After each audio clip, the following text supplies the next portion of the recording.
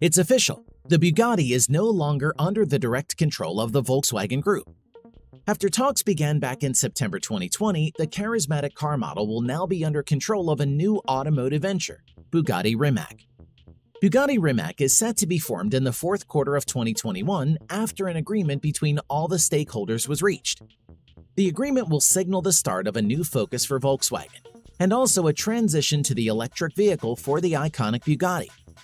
The Bugatti Rimac brand is somewhat complicated when you look at it on the surface.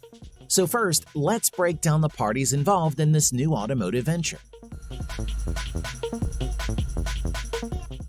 From reports, Rimac will hold 55% of the Bugatti Rimac venture, while Porsche will retain the other 45%.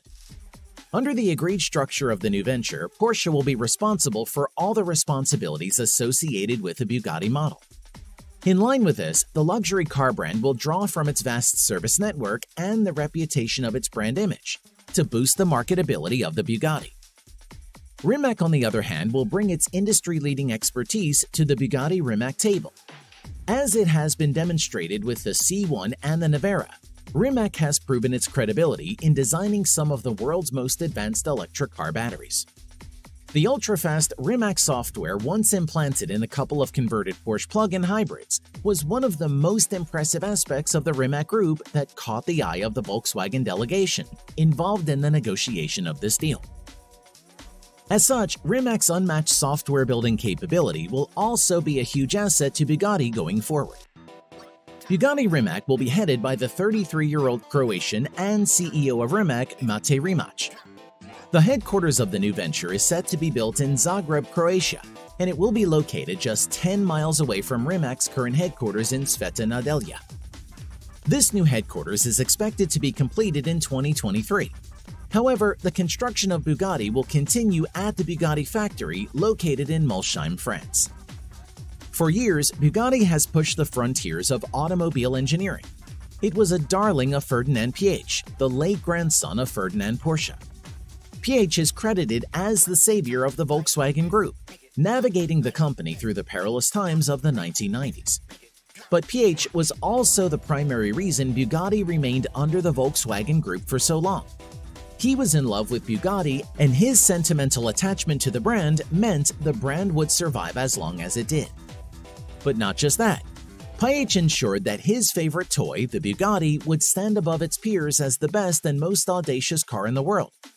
This is what led to the creation of an outrageous line of supercars like the Bugatti Veyron. For Piëch, the lure of Bugatti was in the shock value that it served the automobile industry. It was about the powerful engines, the cutting-edge technology, and the jaw-dropping beauty that the Bugatti exuded. It was never really about the money. Bugattis were not built to make profit, at least not in the eyes of Ferdinand Piëch. Rather, the Bugatti was about the quest to create an ultimate dream car that defied the odds. But with a change of direction in the automotive industry to focus on electric vehicles, the handwriting was always on the wall for Bugatti, even if Piëch refused to see it. Bugatti's gigantic fuel-guzzling turbocharged 16-cylinder power plant of an engine has no place in the future of automotive engineering, where automakers are battling to create the most powerful batteries on the planet. Slowly, Bugatti will lose its place in the race for the most impressive car on the planet, as fuel-powered cars begin to lose their charm. This is what makes the Bugatti Rimac venture so sensible. With this new brand, Bugatti has a chance to stay ahead of the curve and retain its position as one of the most advanced cars on the planet. Without a doubt, Ferdinand Piëch would have been the last person in the Volkswagen Group to ever agree to such a deal. This is why the Bugatti Rimac agreement could only have taken place after Piëch's death. He may not have agreed with it, but frankly, it could be the best move for Bugatti. The puzzling question, however, that many automobile enthusiasts would ask is why on earth has Volkswagen decided to give up Bugatti? Well, from Volkswagen's point of view, the motive is clear. With Ferdinand Piëch no longer at the helm, the company has decided to let go of its super expensive brand, which in all honesty was nothing more than a hobby project for Piëch. Instead, the Volkswagen Group is looking to consolidate resources to fund a huge investment program for projects that will shape the future of the company, in terms of its profitability and its relevance in the rapidly changing automotive industry. These projects include electrification of various Volkswagen models, digitalization, and a focus on autonomous driving. Projects that the super expensive Bugatti model would have prevented from developing as they should. Although the Volkswagen Group has made this decision in the absence of Ferdinand Piëch, the company still has the Piëch family members to deal with, a family that still owns 50% of the controlling interest in the group. And of course, they are well aware of how dear the Bugatti project was to Piëch but the Volkswagen Group has deftly handled what would have otherwise become a sticky situation. Despite shipping Bugattis away from the group, they have placed the brand under the direct attention of the Piëch family's beloved Porsche. So the family has not totally lost Bugatti. Actually, they haven't lost it at all. The Volkswagen Group has smartly engineered a win-win situation for all parties involved, which you have to say is nothing short of sheer brilliance. But what does the New Deal signify for Bugatti as a car brand? Of course, as we mentioned earlier, the prospects look exciting. The combination of Porsche's reputable worldwide brand and sales network, with Rimac who has a knack of churning out 1900 horsepower electric hypercars, indicates that the Bugatti brand is in excellent hands. Bugatti lovers can expect some pretty impressive toys from the Bugatti Rimac venture in the coming years.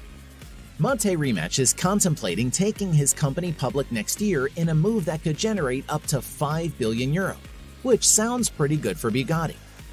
Clearly, with the new Bugatti Rimac venture, Bugatti is on its way to becoming a high-powered electric car. And yes, Rimac is the man who is looking to make that happen.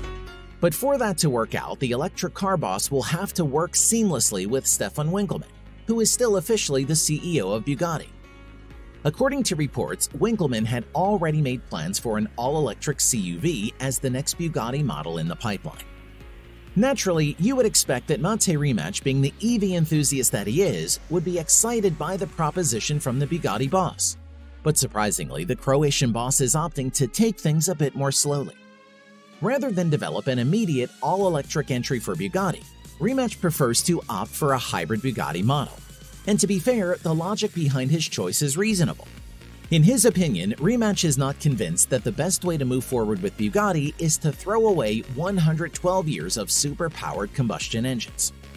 Instead, he believes that Bugatti owners should first be treated to a fusion of both worlds, the combustion engines and the electric powertrain, before the journey to all-electric Bugatti models begins. It appears this is the direction that Bugatti Rimac will go in in the first few years of its existence, before offering what will be a mouth-watering all-electric Bugatti model. That said, Rimac has teased that Bugatti lovers should expect an all-electric model before the end of the decade. Bugatti will not be the only model to benefit from the Bugatti Rimac venture. Porsche is also looking to maximize this opportunity to team up with Rimac, it's no news that Porsche has begun its efforts to systematically switch to all-electric vehicles even beyond the release of the Taycan and the Macan. Porsche plans to release the electric models of the Boxster and the Cayman by 2023 and 2024 respectively. Also, in 2023, Porsche is expected to release the Porsche 994, which is an evolution of the 992. The 994 will be the first in the iconic 911 series to boast a bigger displacement and environmentally friendly long-range PHEV powertrains. In 2023, Porsche will also be revealing its all-electric replacement for the 918, which will go on sale by 2025. The 918 replacement will borrow heavily from the technology of the Rimac Nevera hypercar, in what will be a direct benefit of this new Bugatti Rimac partnership. But this will be just the tip of the iceberg for Porsche. 2028 is the big year for Porsche in terms of its electric vehicle revolution. Termed Project 998, Porsche is expected to deliver a full-fledged electric vehicle equipped with over 100 kilowatt-hour of battery capacity and a 400 to 600 mile driving range. The car is expected to come with two or three motors delivering incredible amounts of horsepower and torque. There isn't much known about Project 998 at the moment. For now, there are only whispers of what the car would be like. What we know for sure is that it will be a mind-blowing entry from Porsche. But back to Bugatti. From all indications, the Bugatti Rimac looks to be a match made in heaven. For Bugatti lovers, any fears of Bugatti fading into oblivion with the rise of electric vehicle hypercars can now be put away. Bugatti Rimac secures the future of Bugatti and, more importantly, keeps us excited at what the future models of the brand will be like. The new venture could also be a game changer for Mate Rimac and his team as they develop one of the world's most recognizable car brands. So, on a scale of 1 to 10, how excited are you about the Bugatti Rimac partnership? And what do you think about Bugatti going all electric within the decade? Kindly put your thoughts down in the comment section. We'd love to hear from you. And with that, we've come to the end of this video. Thank you for watching. Don't forget to like this video and subscribe to our channel. See you in the next one. Goodbye.